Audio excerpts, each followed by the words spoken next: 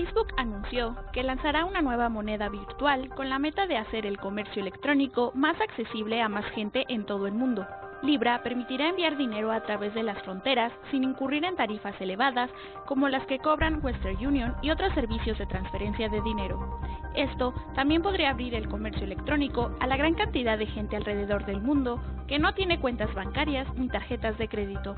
Facebook presentó un plan ambicioso para crear una criptomoneda de uso global, similar a Bitcoin y otras lo que podría impulsar el comercio electrónico en sus servicios y obtener más publicidad para sus plataformas. Sin embargo, la moneda virtual, creada junto con una veintena de socios, incluyendo Uber, PayPal, Visa, Mastercard y Spotify, podría complicar la situación de la golpeada red social, pues Facebook es objeto de investigaciones federales en Estados Unidos por sus prácticas de privacidad y junto con otras grandes empresas tecnológicas enfrenta una investigación antimonopolio en el Congreso. El lanzamiento de la moneda digital llamada Libra está prevista para los próximos seis meses a 12 meses. Facebook encabeza su creación y la tecnología subyacente. Su veintena de socios ayudarán a financiar, construir y gobernar el sistema. Facebook espera recaudar hasta mil millones de dólares de socios actuales y futuros para fincar el esfuerzo. El respaldo de empresas similares podría convertir a Libra en la primera moneda similar a Bitcoin con atracción masiva. Facebook sostiene que Libra será distinta, en parte porque su valor estará sujeto a la de una canasta de monedas como el dólar, el euro y el yen, entre otras. Cada compra de Libra estará respaldada por un fondo de reservas de igual valor en monedas del mundo real para estabilizarla. El 3 de noviembre de 2020, los estadounidenses irán a las urnas para escoger al próximo presidente de Estados Unidos. Y seguimos en Estados Unidos, pero en Silicon Valley. Las líneas entre el mundo virtual y el real empiezan a desvanecerse y Facebook dio un nuevo paso en esa dirección al lanzar su propia criptomoneda. La red social se está uniendo a firmas como Mastercard, PayPal y Uber para desarrollar Libra, una moneda digital que será lanzada a principios de 2020. Veamos cómo este anuncio puede modificar la forma en la que gastamos y ahorramos. Les tomó un año y miles de millones de dólares conseguirlo. Facebook dio a conocer la criptomoneda llamada Libra, un intento por entregar una divisa digital a millones de personas y competir con otras criptomonedas como Bitcoin. La red social lanzó la divisa como una proeza. Al mismo tiempo, aseguró que la criptomoneda permitirá comprar, transferir y ahorrar dinero a cerca de mil millones de personas en el mundo que no tienen acceso a bancos. En algunas casas de cambio se podrán comprar libras digitales con dinero en efectivo y para evitar las fluctuaciones como las que golpean al Bitcoin, la divisa será vinculada con otras mayores. Pero una criptomoneda global podría llevar a grandes problemas de regulación. Creo que surgirán interesantes cuestiones de regulación. Primero, Facebook es una compañía global. ¿Están creando una divisa global? Esto es difícil de manejar. No tenemos definición universal del dinero. De hecho, alrededor del planeta, cada país parece tener una interpretación particular de lo que es el dinero. Para evitar problemas técnicos y de regulación, Facebook ha consultado a numerosos gobiernos y ha creado un consorcio para administrar a Libra. Más de dos docenas de corporaciones se han suscrito, incluyendo Visa, Mastercard, Uber y PayPal. Sin embargo, hay temor y preguntas sobre privacidad y fiscalización que aún quedan por resolver. Visitemos ahora Centroamérica, Guatemala.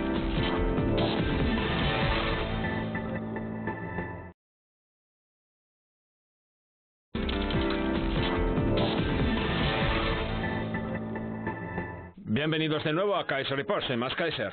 Aquí tienen el titular. La oscura startup londinense que ha hecho posible la creación de Libra, la divisa de Facebook. Mírenlo bien. Pues bien, para hablar de esa oscura empresa londinense tenemos con nosotros a Jaromil, de Dine.org. Bienvenido de nuevo, Jaromil.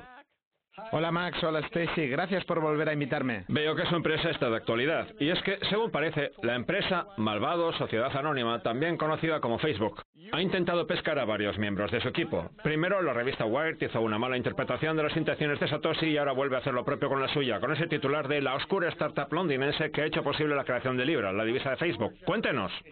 La verdad es que nos hemos quedado anonadados, tanto mis compañeros del proyecto Decode como yo.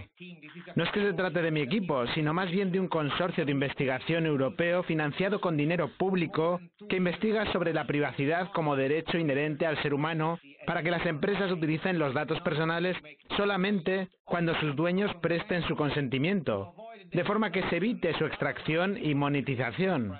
Vamos, justo lo que hace todo el rato Malvados S.A., como la ha llamado usted. Por eso nos entristece tanto que varios de nuestros compañeros hayan decidido proseguir con su carrera en una dirección completamente opuesta, lo cual también nos plantea ciertas cuestiones éticas. Y es que, aunque muchas de las cosas que hacemos son tremendamente innovadoras, igual que las que hacen muchos profesionales de las criptodivisas en todo el mundo, lo que nos preocupa es que haya miembros de nuestro sector que, después de haber estado con nosotros desde que empezamos a seguir el camino que nos marcó Satoshi en el año 2009, ahora hayan decidido venderse a las grandes empresas que son las que promueven esa extracción de la riqueza y las que atacan a todos aquellos que nos oponemos a ella. Esa es pues la parte triste de la historia. Ahora bien, creo que también hay un lado positivo. Y es que la gente se está dando cuenta de que la Libra es un proyecto totalmente centralizado no tiene nada que ver con una base de cadena de bloques. Es más bien como una base de datos distribuida.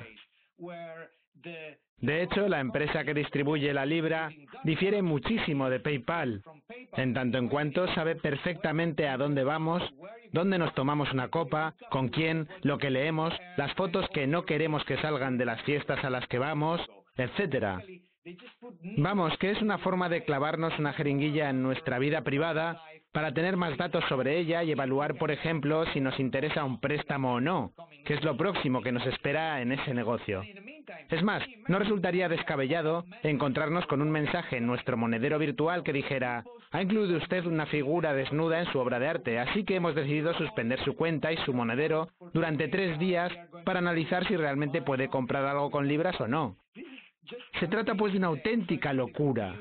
Lo bueno es que yo creo que no va a triunfar jamás y que la gente se va a dar cuenta de la importancia que tienen los valores que defendemos nosotros, los principios de autonomía, libertad y descentralización por los que también aboga nuestro proyecto europeo.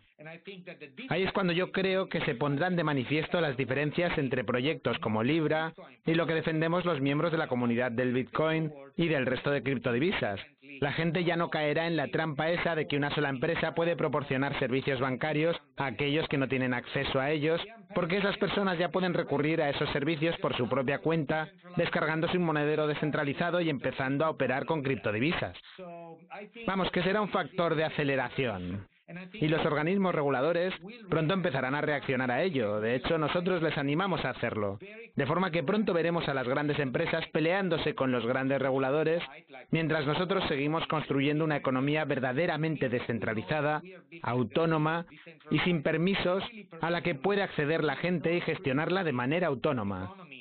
Así pues, yo creo que con este movimiento, el Bitcoin va a recuperar su carácter revolucionario dejando de lado su aspecto más en plan espectáculo. Y lo siento mucho si utilizo su programa para lo que voy a decir, pero me gustaría pedirle a nuestro amigo común, Amir Taki, que hace poco tildaba el Bitcoin de puro espectáculo y de truco de marketing que se convenza de que el Bitcoin es una tecnología revolucionaria y de que cuando el gran mercado intente recentralizarlo y conectarlo con esta gran explotación de los datos privados, el Bitcoin resistirá como la plataforma verdaderamente descentralizada que es. Así que vuelva con nosotros, Amir, porque le necesitamos. Yo me he inventado la teoría del síndrome del trastorno bitcoiniano, que consiste en la capacidad del protocolo de transformar la inteligencia humana y convertir a personas normales en drones que operan en nombre del Bitcoin, como ya hemos podido comprobar en diferentes casos, como el de Craig Wright o John McAfee, por ejemplo, que básicamente se han vuelto locos. Sí, y aunque en el otro lado está Andreas Antonopoulos, que se ha ennoblecido aún más gracias a este síndrome, lo cierto es que la mayoría de las veces las personas se degradan hasta el punto de volverse unas sociópatas, como los dos primeros ejemplos. Bueno, es que... Déjeme que acabe mi razonamiento. De acuerdo. Pues bien, en el caso de Mark Zuckerberg, yo creo que el protocolo del Bitcoin lo ha convertido en un dron en un tonto útil para la criptodivisa. En otras palabras, Zuckerberg va a tener que comparecer ante el Congreso y va a provocar que el mercado destruya su empresa de 500 mil millones de dólares gracias al Bitcoin, como cabía prever. Usted nos sigue desde el 2009 y sabe que nosotros estamos muy pendientes del Bitcoin desde el 2011. Pues bien, sabemos perfectamente que este es el patrón del Bitcoin cooptar a entidades cada vez más grandes para que trabajen en su propio beneficio. De ahí que pueda considerarse de alguna manera un virus, una especie de plaga de felicidad que no puede detenerse. ¿Qué opina al respecto? En primer lugar, hay una cosa que a mí me tiene alucinado. Tengo entendido que ahora Craig Wright dice que es Mark Zuckerberg. Ha dejado atrás lo de Satoshi y ahora se cree que él es el inventor de Facebook. Y por lo demás, creo que tiene usted toda la razón. El Bitcoin convierte a las personas en dioses perturbados y ególatras que creen tener el secreto de todo lo que deberían hacer los gobiernos por nosotros. Yo espero que la inteligencia que aún queda en el sector público se dé cuenta de que tenemos una serie de cinturones de seguridad, por no decir normativas, que nos impiden fabricar dinero como las grandes empresas que no son los bancos, los sistemas de transportes y las compañías de telecomunicaciones que sí que tienen permiso para ello. Esos cinturones de seguridad se basan en años y años de normativas en las que podemos creer o no, pero que tienen que ser iguales para todo el mundo. Y yo creo que esas normativas pueden golpear a esas personas ególatras y perturbadas porque lo que está en juego es nada más y nada menos que la privacidad, que va ligada a la democracia. Si pueden controlarnos la mente hasta el punto de que puedan saber lo que gastamos y los préstamos que podamos necesitar, prediciendo nuestros deseos y cómo podemos adquirirlos, y sabiendo desde lo que leemos o lo que comemos hasta con quién quedamos y en qué nos gastamos el dinero, entonces no podemos decir que vivamos en una democracia, sino en un mundo en el que solo pueden gustarnos las cosas, no disgustarnos, es decir, en un universo que nos hace tener una visión positiva del régimen que permanentemente nos controla. Esa es mi opinión sobre esos personajes que me parecen unos ególatras perturbados. Y si algo nos ha enseñado la historia, es que no podemos dejar que se conviertan en dictadores de nuestras democracias. Igual que Exxon o Chevron, tienen la capacidad de cooptar algunas de las imágenes y frases de Greenpeace para promover un holocausto medioambiental con anuncios en los que muestran hermosos bosques y lagos y en los que presumen de lo mucho que protegen estos valiosos activos, o sea, imitando Greenpeace, porque eso es precisamente lo que buscan, deslegitimarlos. Resulta que Facebook está apropiándose de ciertas imágenes e ideas del Bitcoin como lo de ayudar al mundo, lo de realizar transacciones sin intermediarios y sin bancos de por medio. Vamos, que utilizan las frases y eslóganes más elocuentes y les funciona. Ahora bien, es posible que surja una confrontación entre dos sociópatas como son Jamie Dimon y Mark Zuckerberg.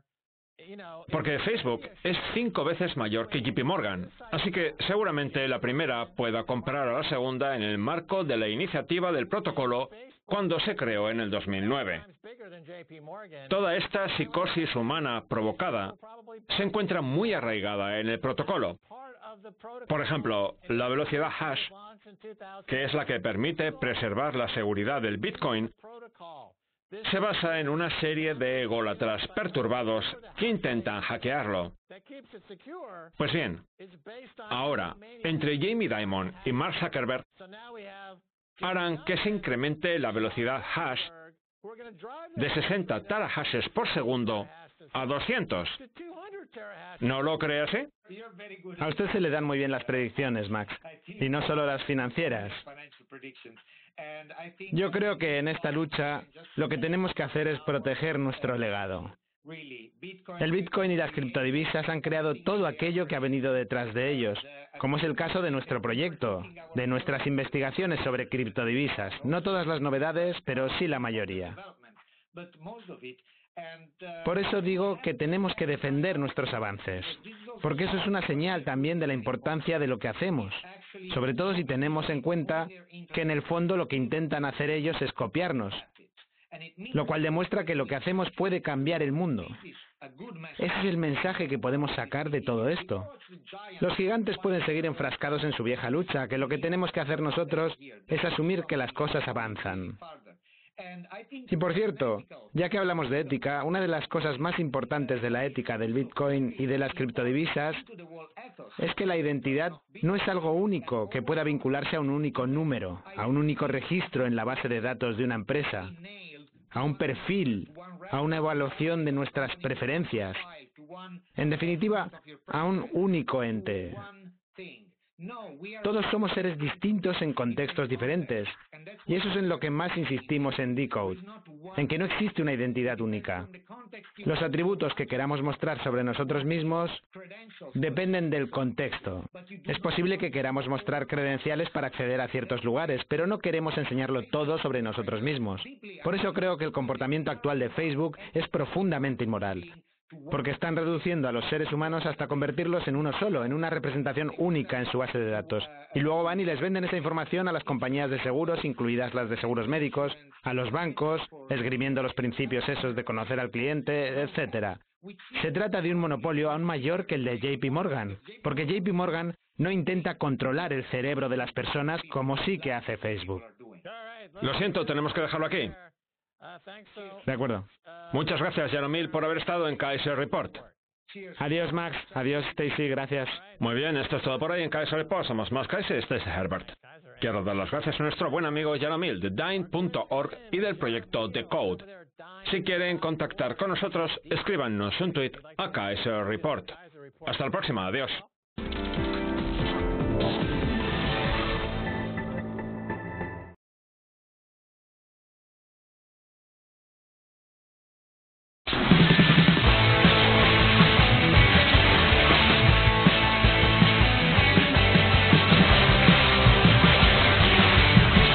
Hola amigos y bienvenidos a su canal de David Batagli. Espero que estén teniendo una excelente semana porque hoy les traigo un video bastante interesante porque vamos a hablar de la moneda de Facebook, voy a dar algunas de mis opiniones sobre el proyecto Libra y realmente qué es lo que persigue Facebook con este proyecto. Y por supuesto hablaremos en relación a Bitcoin, este, que es una moneda, bueno, una criptomoneda muy veterana, la primera, y vamos a ver también en qué situación técnica se encuentra en este punto, porque el mercado sí que está bastante volátil eh, cuando llegamos a los 9.500, casi 9.480 dólares aproximadamente.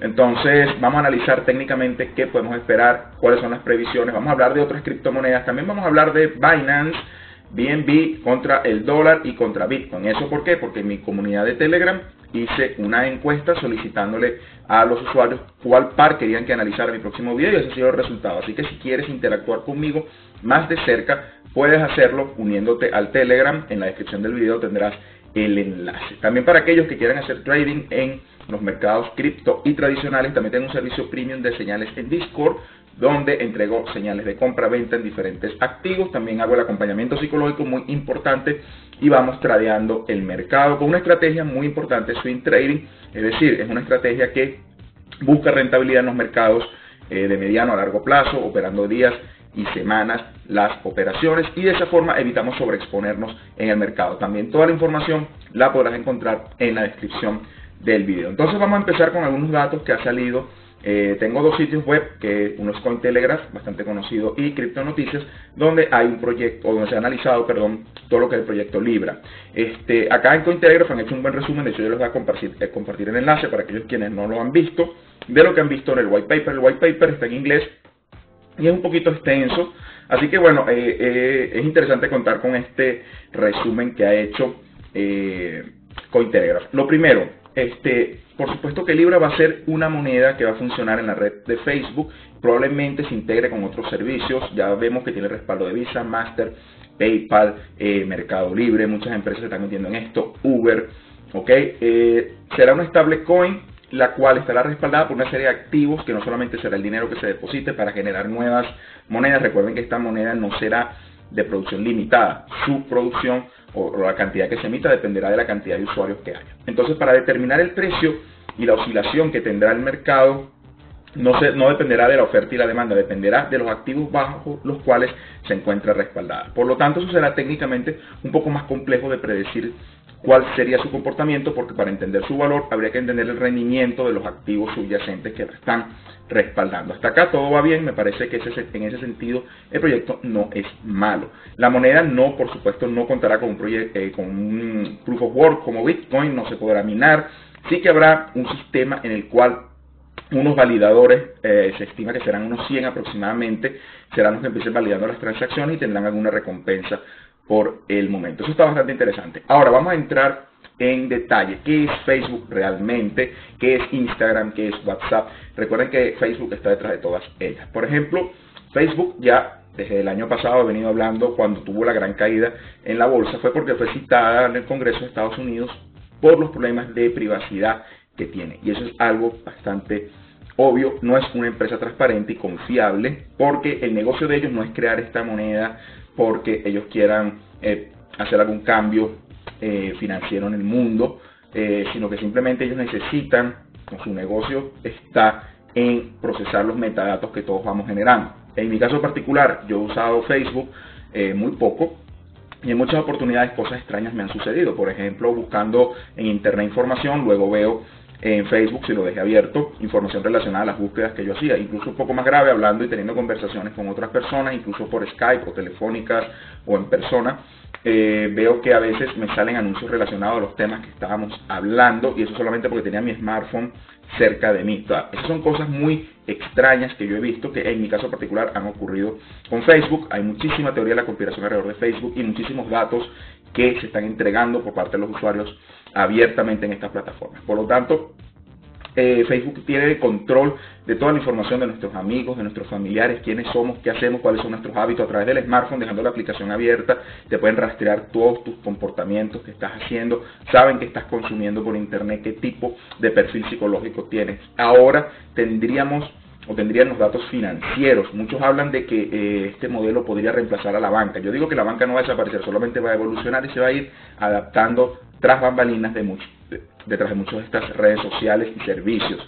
Este, entonces actualmente yo creo que Facebook lo que quiere es de los 2 mil millones de usuarios que tiene, obviamente en ese entramado, obtener mucha más información y ahora vamos por los datos financieros. Recuerden que en esta era la privacidad es un activo muy valioso, la gente no sabe, no tiene idea del negocio que hay detrás de los volúmenes de datos que se manejan en Internet, toda esa información se vende y se comparte sin nuestro consentimiento mayormente. Fíjense que cuando subimos una foto a Facebook, a pesar de que cerremos el perfil, la foto en las condiciones del servicio dice que la foto le pertenece a la plataforma. Entonces, esto es un tema que es bastante delicado. Yo diría que una verdadera criptomoneda es el, tiene que tener un espíritu diferente, debe ser totalmente descentralizada, primeramente no debe poder emitirse más de cierta cantidad, debe ser deflacionaria, de modo que tenga un sentido como un activo escaso, son todas las propiedades que debe tener todo buen dinero, así que siguiendo un poco la tónica de Bitcoin, debería ser en ese sentido. Este, de todas maneras, obviamente estos gigantes tecnológicos están causando mucha preocupación. En Estados Unidos los legisladores están pidiendo que se detenga eh, momentáneamente hasta que se pueda eh, asegurar que realmente es seguro utilizar esta moneda. Por supuesto que los legisladores, unos pocos, han tenido algo de sensatez y están diciendo que deben de citar a Facebook, de hecho los han citado, para que comparezcan ante el Senado. Ya Mark Zuckerberg lo hizo en el pasado, no creo que eso tenga ningún impacto realmente este, no va a cambiar nada absolutamente, simplemente Facebook va a continuar por la vía en que lo está haciendo y ¿Cuál es uno de los grandes problemas que tiene? Que Facebook tiene un acceso enorme a 2 mil millones de personas. Eso habría que ver ya la connotación legal. Y obviamente estarían tratando de aprovecharse, apalancarse en esa base de datos tan, tan grande para promover y hacer una competencia, entre comillas, desleal a otros sistemas de pago que no contarían con toda esa cantidad de personas inscritas en algún servicio. Entonces, ese es uno de los llamados que están haciendo acá por supuesto, la mayoría de países, algunos europeos, han dicho que también hay que tener cuidado. Lo único que está a favor es Inglaterra, que está con una mente abierta, según eh, palabras del propio representante del Banco Central eh, inglés. Entonces, bueno, vemos que aunque sea algunos legisladores se han pronunciado, pero sin duda alguna esto seguirá causando controversia. Eh, ¿Cuál es la utilidad que puede tener esta moneda? Pues obviamente para hacer pagos entre usuarios hay que ver cómo lo van a integrar con las diferentes redes sociales, con Instagram, con WhatsApp y con las otras compañías como Uber, Visa, Master. Y vamos a ver qué va a ocurrir con todo esto. Pero la naturaleza del dinero está cambiando muy rápidamente. Vean que con la evolución de las criptomonedas en 10 años crecimos mucho más rápido de lo que hizo 40, 40 años atrás Visa o Master, es decir, estos cambios son exponenciales y todavía no tenemos muy claro el impacto que están teniendo las redes sociales en la vida de las personas. Por ejemplo, Instagram hoy día es una de las redes sociales que causa mayor depresión entre jóvenes. Por WhatsApp tenemos diferentes agujeros o puertas traseras que permiten espiar nuestras conversaciones y por supuesto en Facebook estamos siendo constantemente rastreados. Ahora le vamos a incorporar un servicio financiero, creo que hay que tener muchísimo cuidado. Yo este, particularmente no invertiría en la moneda de Facebook, es algo que yo no pienso hacer.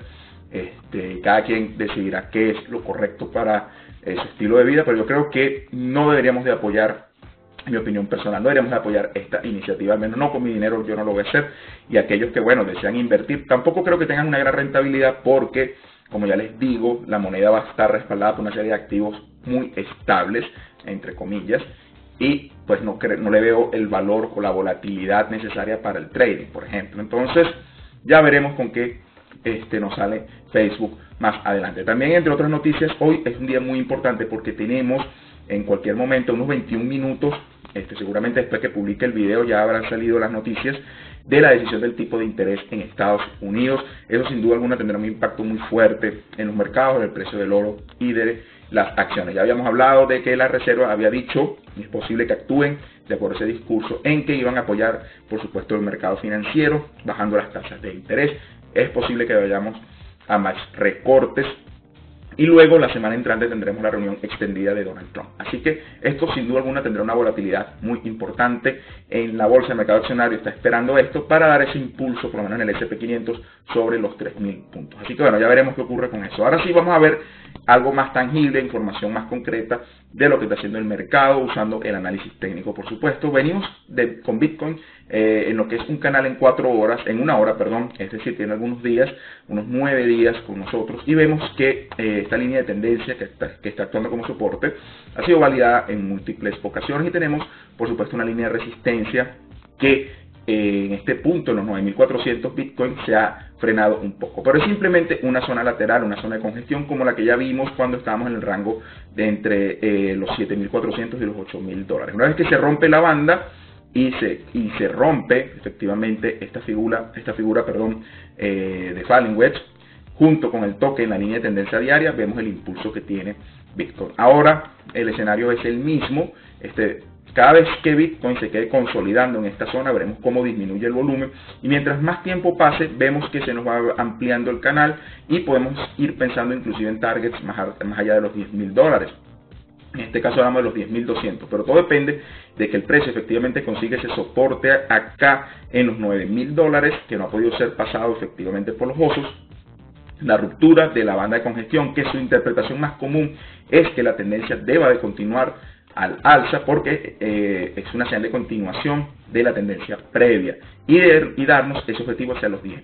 Yo recomendaría salirnos un poco antes, a ver 9.600, 9.800, porque los 10.000 es un punto muy psicológico, sin duda alguna veremos retrocesos importantes acá. En un escenario bajista también tendríamos la ruptura de dicha línea y deberíamos de bajar de los 8.800 tal vez otra vez a los 8.200 dólares. Sería una caída importante si se rompe esta línea de soporte y por supuesto si se, si se rompe el soporte de la banda de congestión, porque el precio igual podría llegar hasta la banda y seguir oscilando dentro de ella. Así que para una mejor confirmación es esperar una buena ruptura para ir a la baja o para salir de nuestras posiciones después de la ruptura de este soporte. Así que mientras Bitcoin esté en esta zona lateral, yo no recomiendo tomar ningún tipo de posición en él. De todas maneras, si nos vamos